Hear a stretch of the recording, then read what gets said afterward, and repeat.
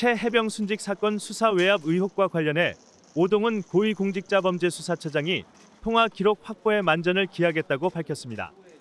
오 처장은 오늘 오전 이종석 헌법재판소 장을 예방한 뒤 최근 드러난 윤석열 대통령과 이종섭 전 국방부 장관 간 통화 기록이 수사에 영향을 미칠 것으로 보이냐는 취재진의 질문에 국민이 관심 있는 사건과 관련한 통화 기록을 확보하는 데 빈틈이 없도록 하겠다고 답했습니다. 저희들 통화 기록에 대해서 확보하는 데 대해서 어, 빈틈이 없도록 만전을 다하겠, 아, 어, 최선을 다하겠습니다. 대통령실 관계자나 사무 공간에 대한 강제 수사도 검토 중이냐는 질문에는 시한이 있는 급한 문제는 통화 기록 확보이기 때문에 그 부분을 빈틈없이 하려고 노력하고 있다며 말을 아꼈습니다. 또오 처장은 7월에 통화 기록 시한이 끝나기 때문에 놓치는 점이 없도록 통화 기록 확보에 만전을 기하겠다고 덧붙였습니다.